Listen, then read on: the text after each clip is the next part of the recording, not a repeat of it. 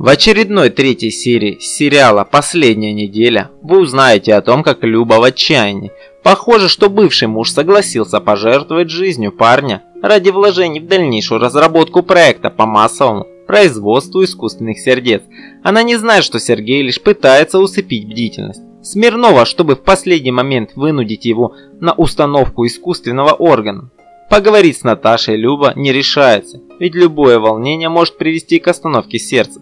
Тому же Наташа без памяти влюблена в Сергея, которого считает гением. Сергей не готов к таким отношениям, но и не отвергает ее.